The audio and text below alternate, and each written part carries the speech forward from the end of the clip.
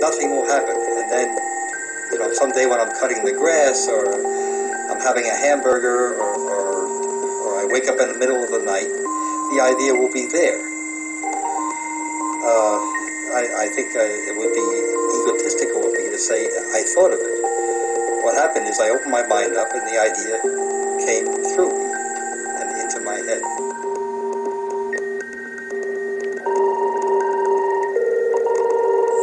These ideas, I, I, I don't have to dig up anything. Sometimes I don't even have to be thinking about them.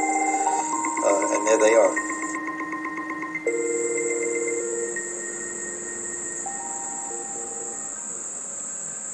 It's something. Uh, it's something between discovering and witnessing. It wasn't natural. I, I, think that was the first response. It